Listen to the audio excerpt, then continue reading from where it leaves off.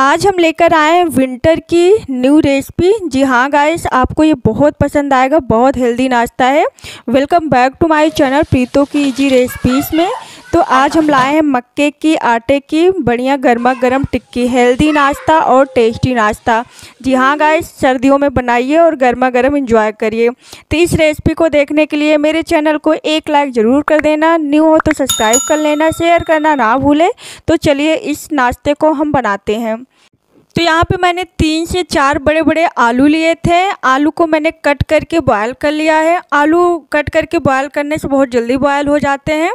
तो आलू को हमें छील लेना है और इसके बाद एक बाउल में हम ले लेंगे और इसको हम मैश कर लेंगे। अच्छे से इसको मैश कर लेंगे।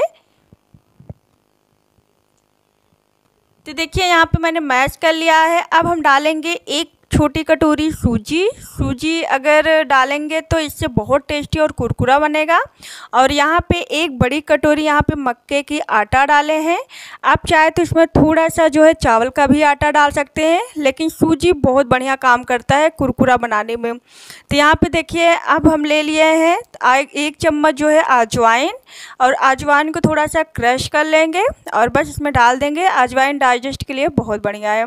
इसके बाद यहाँ पे दो मीडियम को मैंने छोटा छोटा कट कर लिया है, ये हम डाल देंगे और एक चम्मच ग्रेटेड इसमें हम अदरक डाल देंगे और ये मसाले वाली टिक्की आपको बहुत पसंद आएगी, आप ज़रूर बनाना। और यहाँ पे मैंने लिया है धनिया धनिया को मैंने कट करके ये डाल दिया है और यहाँ पे दो हरी मिर्च हरी मिर्च को मैंने छोटे छोटे टुकड़ों में कट कर लिया है, वो हम डाल देंगे।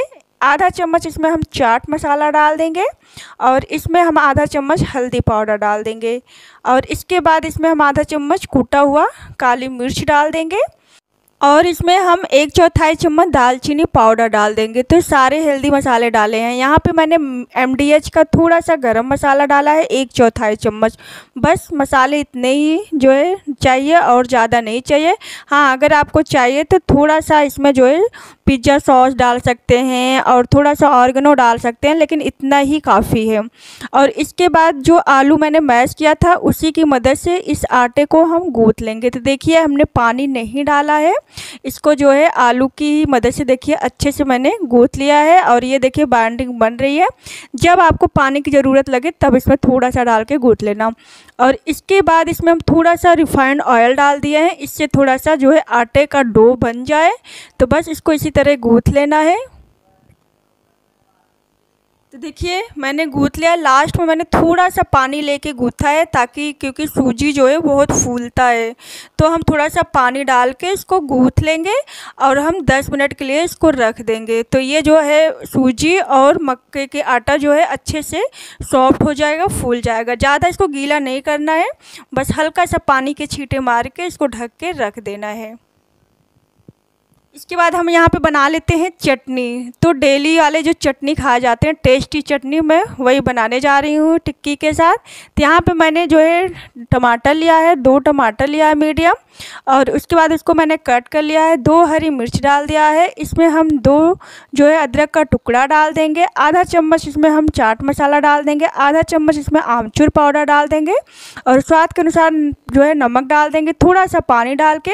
बस ये देखिए, जल्दी वाली बना ली है हमने चटनी। ये चटनी बहुत टेस्टी होता है, आप इसको सब्ज़ी, पराठे, पूड़ी के साथ खाइए, जब सब्ज़ी रोटी खा रहे हो ना तो ऐसे चटनी ज़रूर बनाना, बहुत टेस्टी होता है। तो देखिए मेरी सिंपल वाली चटनी भी बन गई है और ये देखिए दस मिनट हो चुका है। डो अच्छे से मुलायम हो चुका है।